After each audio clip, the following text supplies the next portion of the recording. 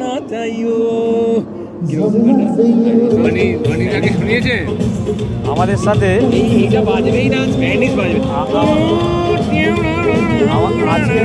আজকে আমাদের সাথে গৌতম দা আজকে আমাদের সাথে আমরা স্বনামধন্য লোকশিল্পী গৌতম দে মহাশয়কে পেয়ে গেছি। দু হাজার বাইশের পুজোর আড্ডা মহাসপ্তমীর এই সন্ধেবেলায়।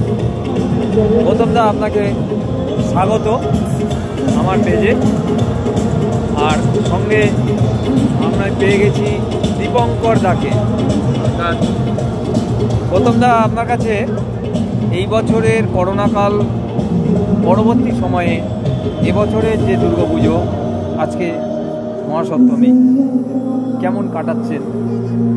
একটু যদি বলেন আজকে সন্ধেবেলাটা। কেমন কাটাচ্ছেন বলতে একটা জিনিসই আমার সব থেকে ভালো লাগছে।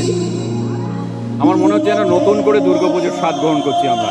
কারণ দু আড়াই বছর ধরে যে পরিস্থিতি গেছে মানুষের, এবং আমরা যে বেঁচে রয়েছি, এটাই ঈশ্বরের অনেক বড় আশীর্বাদ। অনুষ্ঠানটা করতে পারছি, বেঁচে রয়েছি বলেই তো। নাহলে তো আর এটার কোনো প্রশ্নই ওঠে না না? সেই ক্ষেত্রে ঈশ্বর আমাদেরকে আবার নতুন পৃথিবীতে এনেছেন মনে হচ্ছে, নতুন একটা স্বতন্ত্র জায়গায় নিয়ে এসছেন এরকম একটা ব্যাপার।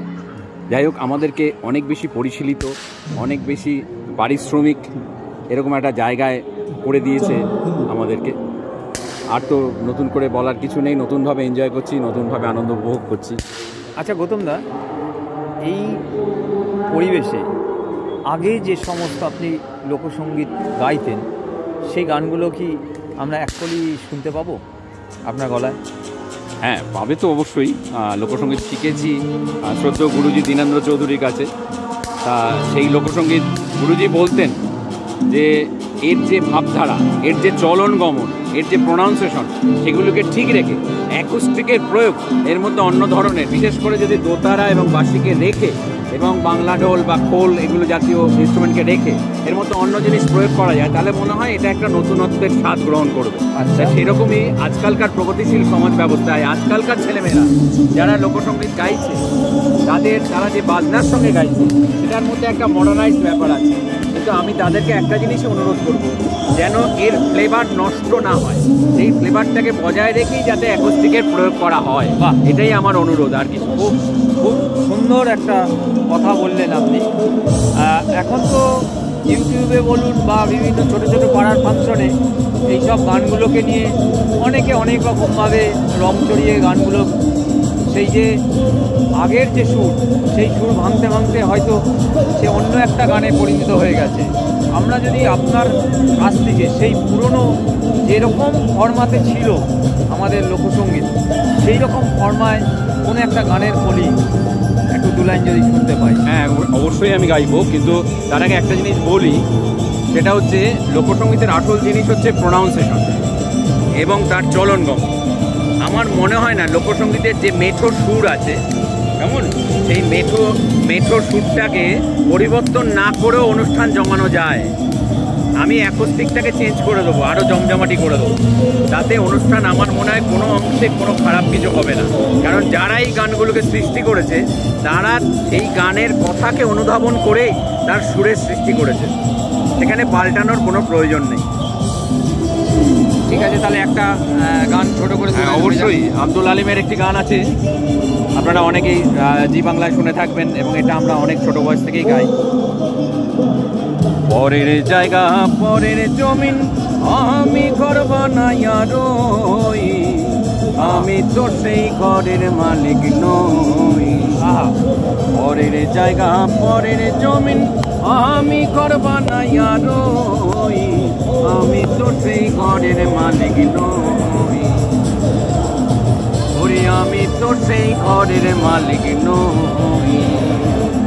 আমি খাজনা পাতি সবই দিলাম, তবু জমিন হয় যে নিলাম। আমি খাজনা পাতি সবে দিলাম, তবু জমিন হয় যে নিলাম। আমি জমিদারের পাই না দেখা, ওই আমি জমিদারের পাই না দেখা, দাখিলায় মিলে না সই। আমি তো সেই ঘরের মালিক নই। জায়গা পরের জমিন আমি ঘর বানাইয়া রই। আমি তো সেই ঘরের মালিক নই। ওরে, আমি তো সেই ঘরের মালিক নই। বাহ, অসাধারণ অসাধারণ। আপনার এই গলা, আমরা এই করোনার সময়ে যে আমাদের মঞ্চে যারা যে সমস্ত শিল্পীরা তাদের নতুন নতুন এক্সপেরিমেন্ট লোকসঙ্গীতের ওপরে হতো, সেইগুলো করোনা শেষ হয়ে যাওয়ার পরে এখনও করোনা যায়নি, তবে করোনার যে একটা চলে যাওয়ার যে একটা মুহূর্ত, সেই মুহূর্তে আমরা আপনার এই লোকসঙ্গীতকে আবার কি করে পুনরুদ্ধার করা যাবে? তার জন্যে আপনাকে আমরা সবসময় সাদর আমন্ত্রণ জানাচ্ছি যে আপনার নিরলস চেষ্টা প্রচেষ্টা এখনও চলে যাচ্ছে। আপনার কি নতুন কোনো কিছু করলেন এর মধ্যে? হ্যাঁ অবশ্যই। আচ্ছা। লোকাল শ্রয়ী নজরুল হ্যাঁ। যেটা এইচএমএন থেকে বেরিয়েছে রূপান্তরী বলে। হ্যাঁ হ্যাঁ। লোকসঙ্গীতের মধ্যে নজরুলের মধ্যেও ভাঙা গান আছে। রবীন্দ্রনাথের যেমন ভাঙা গান আছে হ্যাঁ। নজরুলের ওপরেও অনেক ভাঙা গান আছে। সেটা কিন্তু অব্যক্ত।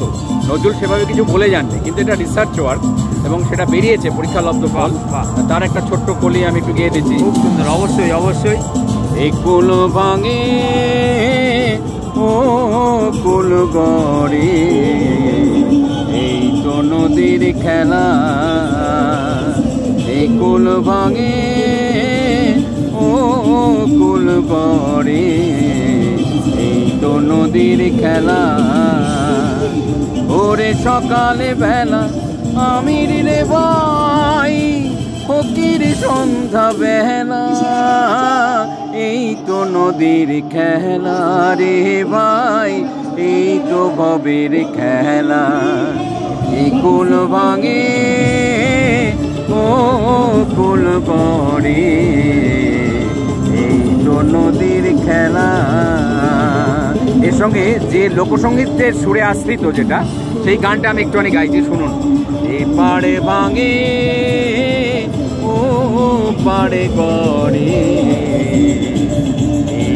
নদীর খেলা। এ পাড়ে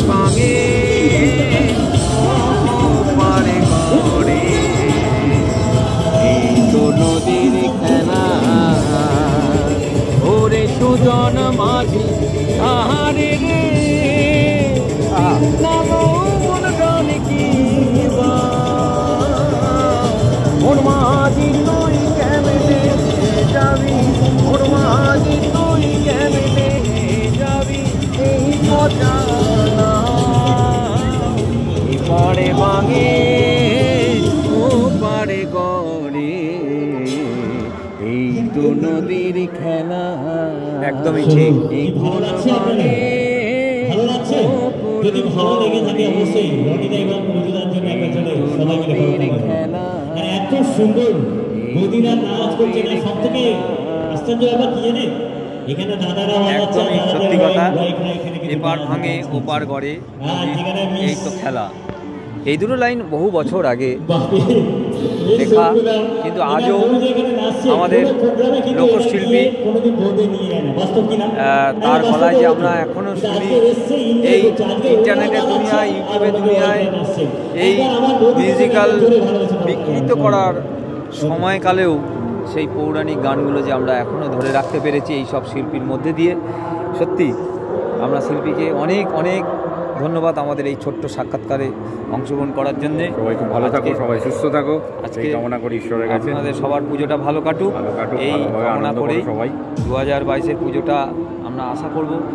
আরও আরও আনন্দ বয়ে নিয়ে আসুক মানুষের মনে। সকলকে ধন্যবাদ।